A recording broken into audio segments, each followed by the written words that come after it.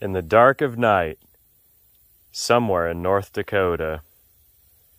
Endless prairies outstretched. Hop, hop, hop, hop, hop, hop, hop. Interminable span of grass, interrupted by pavement. Hop, hop. Increasingly illuminated, the rabbit stopped to think. But there wasn't time for that. He needed a span of two leaps. Headlights closed in, allowed one.